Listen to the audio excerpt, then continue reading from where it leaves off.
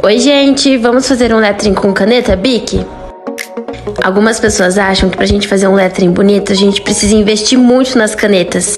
Mas hoje eu vou mostrar para vocês que com uma simples caneta Bic, das mais baratinhas que a gente tem no mercado, a gente consegue fazer um lettering super lindo. Gosto de dar volume nos meus ornamentos e também nas minhas letras, fazendo com que meu lettering fique ainda mais bonito. E aí, o que, que vocês acharam?